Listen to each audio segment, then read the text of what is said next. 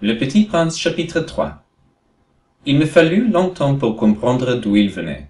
Le Petit Prince qui me posait beaucoup de questions ne semblait jamais entendre les miennes. Ce sont des mots prononcés par hasard qui, peu à peu, m'ont tout révélé.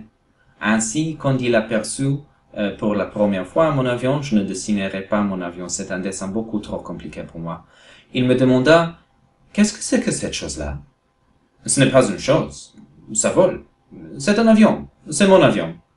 Et j'étais fier de lui apprendre que je volais. Alors il s'écria, Comment? Tu es tombé du ciel? Oui, fis-je modestement.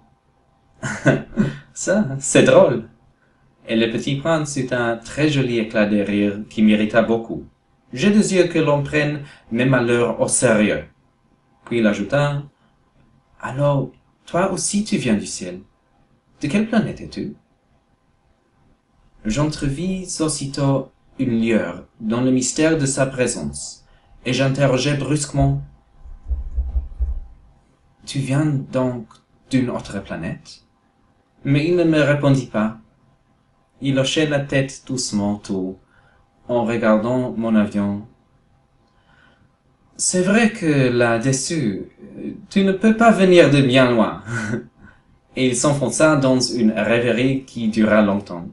Puis, sortant mon mouton de sa poche, il se plongea dans, la contemplation de son trésor. Vous imaginez combien j'avais pu être intrigué par cette demi-confidence sur les autres planètes. Je m'efforçais donc d'en savoir plus long. D'où viens-tu, mon petit bonhomme? Où est-ce chez toi? Où veux-tu emporter mon mouton? Il me répondit après un silence méditatif. Ce qui est bien avec la caisse que, tu m'as donnée, c'est que la nuit, ça lui servira de maison. Bien sûr. Et si tu es gentil, je te donnerai aussi une corde pour l'attacher pendant le jour. Et à piquer. La proposition parut choquer le petit prince. L'attacher? Quelle drôle d'idée!